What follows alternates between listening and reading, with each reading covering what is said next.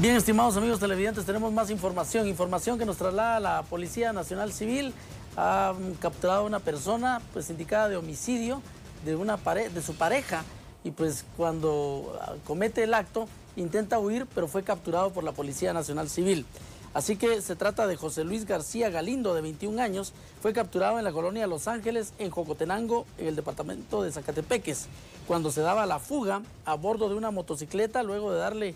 muerte a balazos, pues eh, acá nos indica a una persona de 39 años y a una mujer de 30 años en esa misma eh, colonia.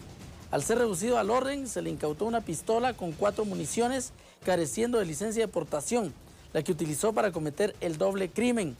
así como la investigación indica que sigue para esclarecer motivos del hecho criminal. Acá ya reiterando eh, parte de la información que nos traslada la PNC entonces, este es una persona acusada de homicidio de una pareja y fue capturado cuando huía, es lo que nos traslada ya la policía de una forma más clara y se la estamos dando a conocer en estos momentos. Aquí tiene usted las armas que le fueron incautadas a este hombre de 21 años de edad, eh, identificado como José Luis García Galindo, Aquí tiene usted el arma de fuego que fue utilizada y que va a servir para las autoridades del Ministerio Público para presentarlo como evidencia a los tribunales de justicia. Así que este es el informe, aquí también tiene la, motocicleta y esto, eh, esto es lo que ha ocurrido en este sector del país. Estamos hablando entonces que capturan a esta, a esta persona en Jocotenango, Zacatepeques, en la colonia Los Ángeles. Esta es la información que tiene usted para poder pues, conocer de mayor,